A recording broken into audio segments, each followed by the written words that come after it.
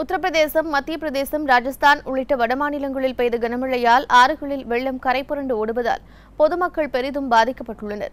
உத்தரப்பிரதேச மாநிலத்தில் பெய்யும் பருவமழை காரணமாக கங்கை மற்றும் யமுனா ஆறுகளில் வெள்ளம் நீர்மட்டம் அதிகரித்து கரைபுரண்டு ஓடுகிறது. காட்டாற்று வெள்ளம் காரணமாக பிரக்யாராஜ் நகரின் தாழ்வான பகுதிகள் மூழ்கின சங்கம் என்ற இடத்தில் உள்ள வடே ஹனுமான் கோவிலுக்குள் வெள்ள நீர் புகுந்தது. இது நீண்ட காலமாக எதிர்பார்க்கப்பட்ட தருணம் என்றும் இந்த ஆண்டின் மகிழ்ச்சியான அடையாளம் என்றும் அந்த கோவிலின் தலைமை பூசாரி தெரிவித்திருக்கிறார்.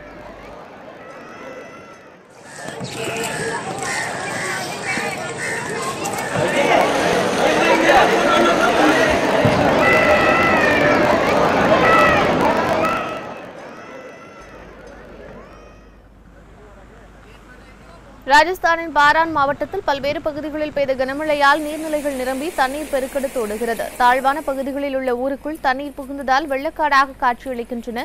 காட்டாற்று வெள்ளத்தில் அங்குள்ள பாலம் ஒன்று அடித்துச் செல்லப்பட்டதால் உயிரை பணையம் வைத்து மக்கள் பாதுகாப்பான இடங்களுக்கு இடம்பெயர்ந்தனர்.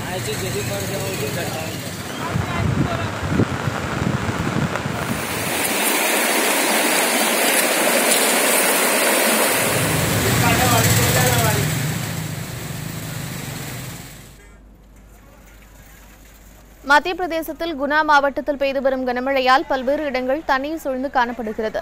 வெள்ளம் பாதித்த பகுதிகளில் வசிக்கும் மக்களை காப்பாற்ற அரசு முன்வராததால் அப்பகுதி மக்களை கயிறை கட்டி காப்பாற்றினர்.